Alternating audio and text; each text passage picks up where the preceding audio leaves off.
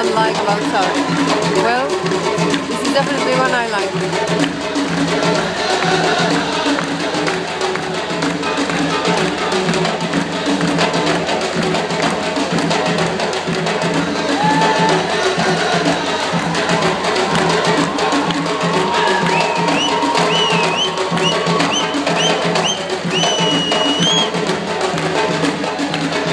Well, actually, I repeat, I don't like it. I love it.